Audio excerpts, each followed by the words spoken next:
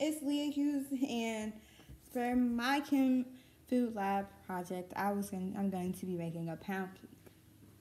So first, what you want to start off is you're going to cream your butter and your food shortener.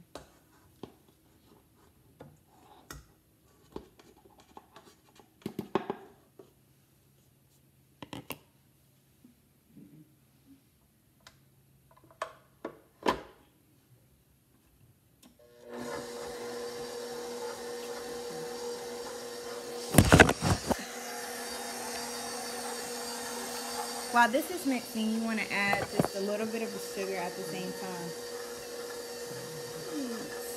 That's not ready. You cannot, you cannot